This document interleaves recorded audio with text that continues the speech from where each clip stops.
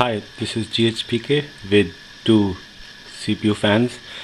This one is for the CPU heatsink fan which gets settled on the heatsink and this one is normally known as a cabinet fan which you have in your computer most mostly in the desktop computers.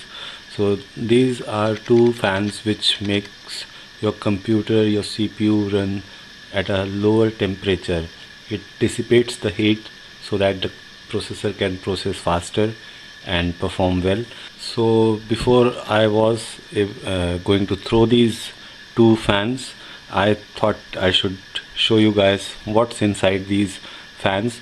These are basically 12 volt based brushless motor based fans.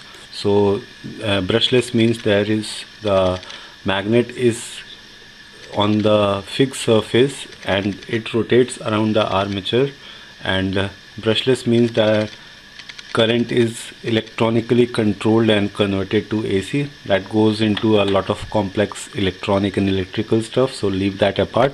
Let's just peek around inside what's inside the CPU fan. As these fans are already discarded they were running slow so I have already taken out and I'm not worried about damaging them. So I'll just pop it open and show you guys what's inside these fans. Uh, one can also take out the magnet which is used inside these fans. So you use it for any fun project use it for any of your projects. So like I said the magnet is fixed permanently and it is not fixed on the body it is fixed on the rotating part. This magnet rotates along the fins on this circuit.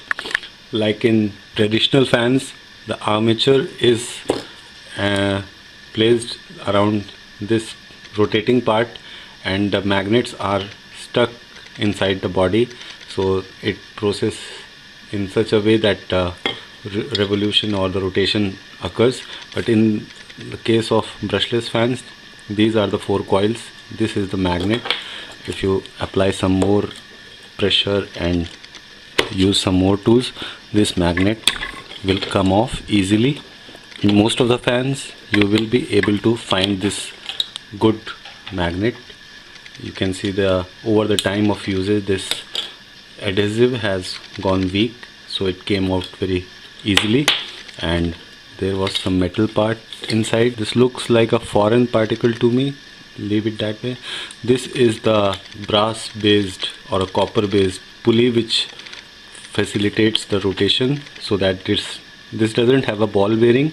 And this as I told you these fans are electronically controlled. You can see there are tiny parts. These are transistors or the power drivers.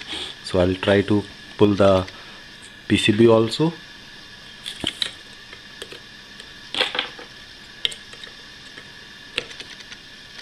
as you can see there was one screw for the PCB oh I think I'll be damaging this completely before I'll be able to take out this PCB part because this looks like using a very strong adhesive.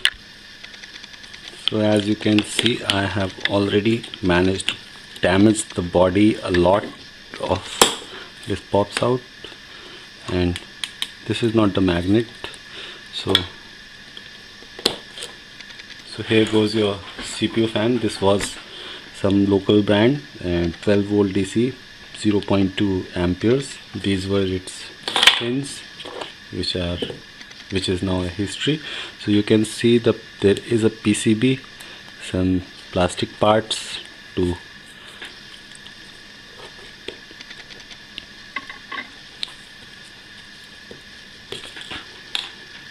so there are two driver trans transistors and these are D734 one is D734 and the other one is also D734 the, however the series is different. This is E2J this is E2 so there there is also a Zener diode there is also a rectifier which might be converting the DC supply from your power supply or the SMPS of your computer to a AC current so that the motor can run. These are four coils which enables the current to facilitate the rotation. There are couple of resistors surface mount resistors. Couple of them I recognize them. There is a 330 ohm resistance. There is a 200 ohm resistance. But leave it that way so this is what's inside your CPU fan cabinet fan chassis fan